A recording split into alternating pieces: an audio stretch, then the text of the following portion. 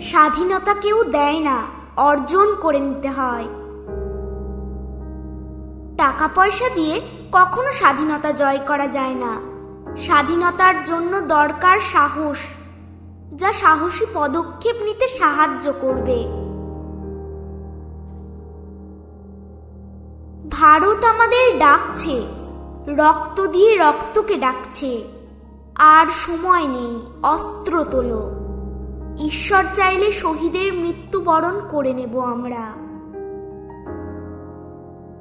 তোমরা আমাকে রক্ত দাও, আমি তোমাদের স্বাধীনতা দেব।